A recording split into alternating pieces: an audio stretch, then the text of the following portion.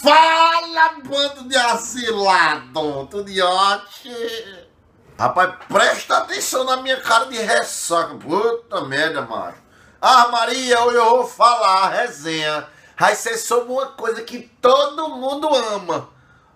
Puta! Catuca da pereba! Eu tô é bebo ainda.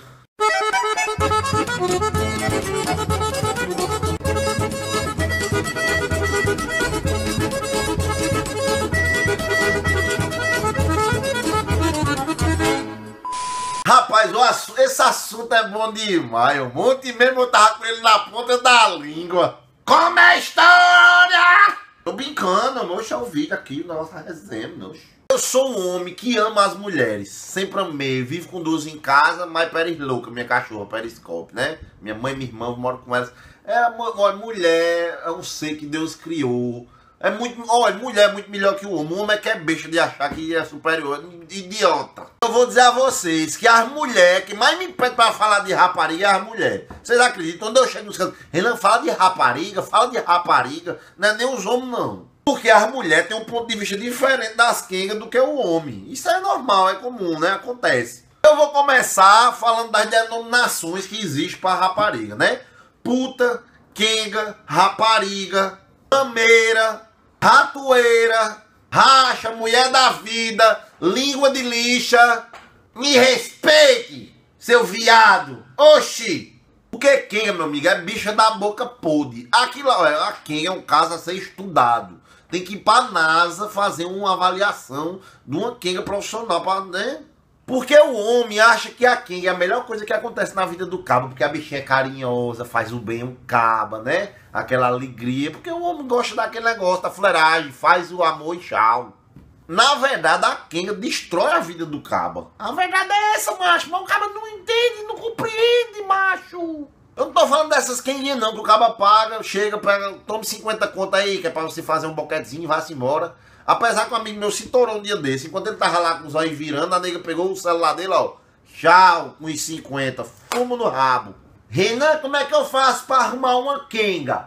Primeiro, trabalhe muito, mas que quenga é bicha gastadeira com força. A bicha come mais do que impinge beira de furico.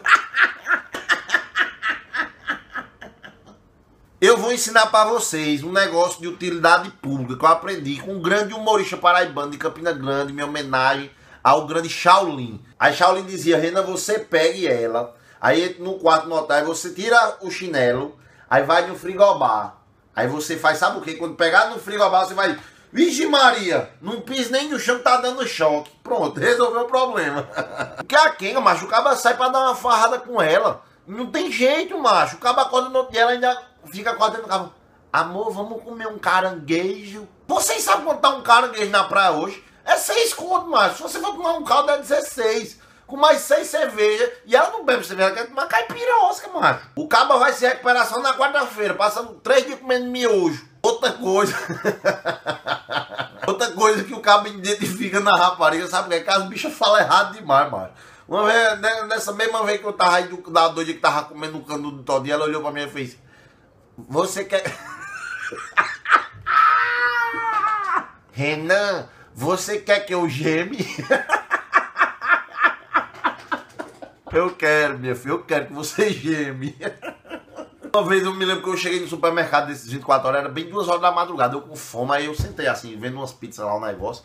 Aí eu pedi a pizza, aí tinha um cabo assim com duas quengas. O cabo conhece de longe, né? Aí o cabo fez, você faz o que da vida? Ela faz, ah, eu faço contabilidade. o cabo fez, e é? E tu tá em que período? Eu tô no 13. Ah, quenga mentirosa, que a rapariga também mente com força.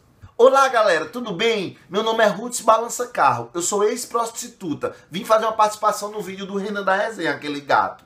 Eu deixei de ser garota de propaganda. Não. Eu deixei de ser garota de programa porque, graças a Deus, eu arrumei um, um esposo. E ele é um homem muito bom. Ele é ele é promotor, aposentado. Então ele me dá uma vida muito boa. Só tem um problema, que ele tem 88 anos. Macho, eu tô com uma ressaca tão grande que cada gaitada dessa que eu tô dando, minha cabeça faz tan, tan, tan, tan. Eu só tenho uma agonia, que é ficar nesse negócio todo dia de manhã. Bota o velho do sol, tira o velho do sol. Bota o velho sol, tira o velho sol. o sofrimento dessa minha vida, né? Olha, as quengas, as putas que se faz de santa, é as pior que tem. Porque as bichas são sonsa, macho. Você pode ver que elas andam tudo bem vestidas, feito patricinha. É normalmente essas novinhas, né? Que fica por aí fazendo inferno nos casamentos, na, nos namoros do povo. E tem aquelas quenguinhas que são quengas por necessidade, macho. Que não tem conseguido nada da vida, aí vai pra, né, pra aula, vender o corpo. Porque, olha, a quenga é um negócio mais antigo da humanidade. Desde os tempos de Jesus Cristo já existia Maria Madalena, macho. Isso é velho demais, olha. Vender o corpo. Mas tem as que, que é safadeza mesmo no rabo. É o, é o famoso fogo no rabo. Porque a bicha quando nasce. Olha a Kinga.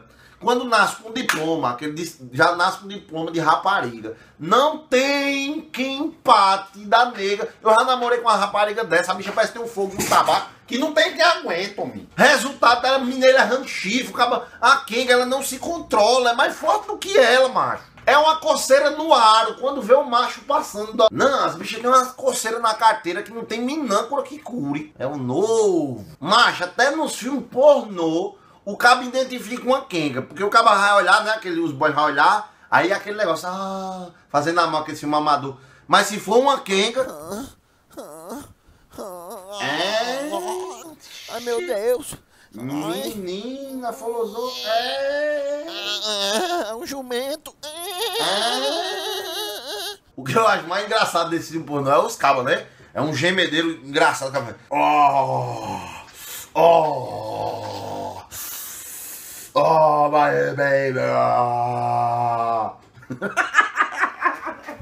Isso é uma fuleiragem do caralho, macho. Você que gostou dessa resenha, vai dando joinha aí, se inscrevendo no canal. Compartilhe com seus amigos. Desculpe minha cara de ressaca. Isso acontece às vezes. Quero mandar um beijo bem grande aí pra Ilnara lá de Natal. Meu amigo Rodrigo Dantas, lá de Tenório, na Paraíba. E o asilado Matheus, lá de Sumé. Agora vem o alô internacional, macho. Igor Modesto, Daniel Cabral e Ricardo Júnior estão em Coimbra, macho. Assistindo a resenha. Não é massa, doido?